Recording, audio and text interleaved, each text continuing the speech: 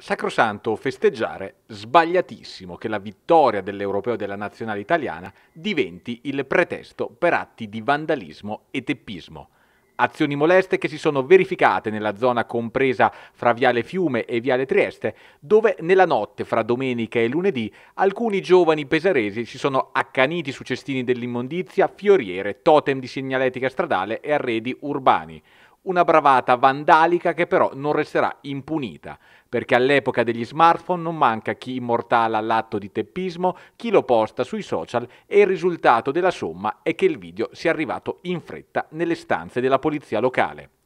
Dal comando della Polizia Municipale hanno già lasciato intendere come siano pronte tre denunce a piede libero per altrettanti giovani identificati attraverso i video.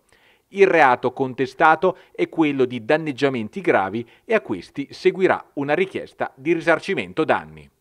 Va precisato che si è trattato di pochissimi episodi a fronte di centinaia di pesaresi che si sono riversati sul lungomare festeggiando la vittoria azzurra mantenendo le proprie gioie nei confini dei comportamenti civili.